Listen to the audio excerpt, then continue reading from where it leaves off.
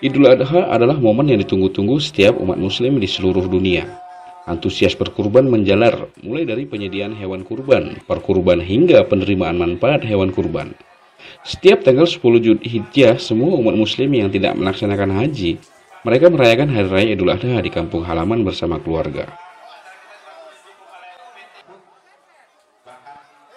Semua umat muslim disunahkan untuk melaksanakan kurban, di mana mereka menyembelih hewan kurban untuk dibagikan kepada umat muslim di seluruh daerah. Seperti yang terjadi di Masjid Nurul Amal, Kampung Banten, Desa Butu Bedimbar, Kecamatan Tanjung Merawa, Deli Sedang, Sumatera Utara. Melaksanakan penyembelihan umat hewan kurban sebanyak 21 ekor sapi dan 2 ekor kambing. Antusias masyarakat Kampung Banten Desa Butuh Bedimbar sangat tinggi untuk menyaksikan penyembelihan hewan kurban yang dilakukan oleh panitia.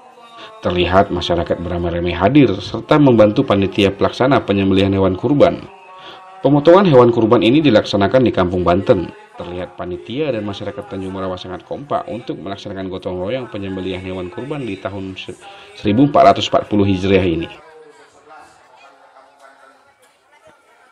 Bapak Kholik, panitia pelaksana penyembelian hewan kurban ini mengatakan, warga Dusun 3 Butuh Bedimbar dan Dusun 11 Desa Bangun Sari Baru melaksanakan penyembelian hewan kurban sebanyak 21 ekor sapi dan 2 ekor kambing. Insya Allah akan dibagikan kepada 1.800 warga Kampung Banten dan sekitarnya. Terutama untuk fakir miskin, dan ini kita akan lebihkan sedikit karena ini memang hak mereka untuk mendapatkan yang lebih banyak hewan kurban ini. Warga Dusun 3, Desa Butuh Bedimbar dan warga eh, Dusun 11 Bangun Sari Baru.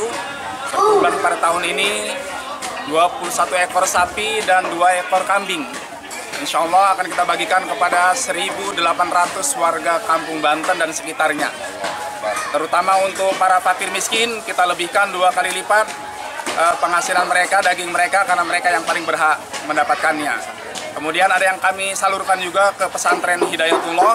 Tentunya kita berbagi dengan anak yatim yang ada di sana. Uh, tentunya hal ini atas partisipasi seluruh warga Kampung Banten.